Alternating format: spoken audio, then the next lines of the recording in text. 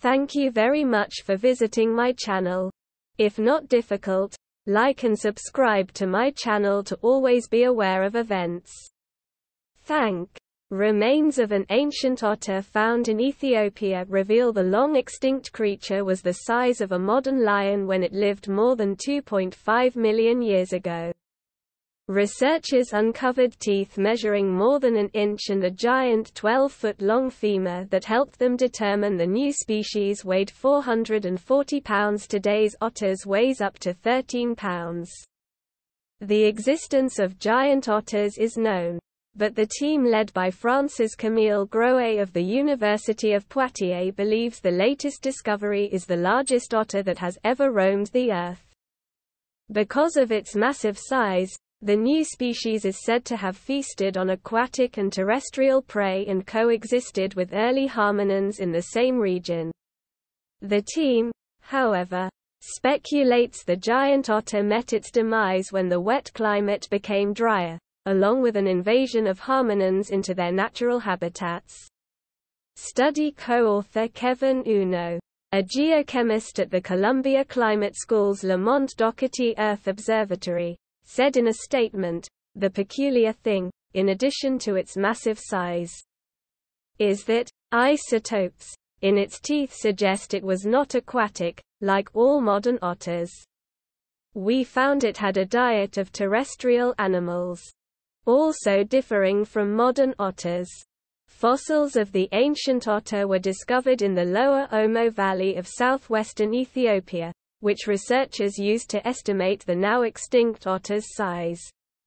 Several giant otters are known to have populated Eurasia and Africa from about 6 million to 2 million years ago, with genus Enhydriodon being the most well known. This is because its remains, although fragmentary, have been found in many locales, particularly in eastern Africa. The newly described species, however, is named Enhydriodon omoensis after southwestern Ethiopia's lower Omo Valley, where it was uncovered. The lower Omo Valley of southwestern Ethiopia is located north of Lake Turkana. It represents the northern part of the large Turkana Depression and it exposes Plio-Pleistocene fluvio-lacustrine sediments on the western side of the Omo River. Mainly deposited as the Usno and Shungura formations, the team shared in the study published in Comptes Rendus Palevol. The Shungura formation is exceptional in Africa because it preserves a highly continuous, well-dated, and rich paleontological and archaeological record from about 3.6 ma million to 1.05 ma million. In 2017, a separate team uncovered remains of another giant otter. This one was the size of a wolf when it lived 6 million years ago. Known as Siamogale melilutra. It weighed about 110 pounds and had an unusually powerful bite, which would have allowed it to crush mollusk shells or the bones of birds and small mammals. Researchers from the University of Buffalo studied the prehistoric otter's fossilized skull.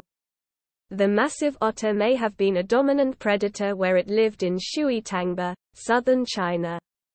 Scans revealed a combination of otter-like and badger-like cranial and dental feature. Because of this, the species was given the name, Melilutra, derived from the Latin melis, for badger and lutra, for otter. If you liked the video, please like and subscribe to my channel to stay up to date. Peace for everyone.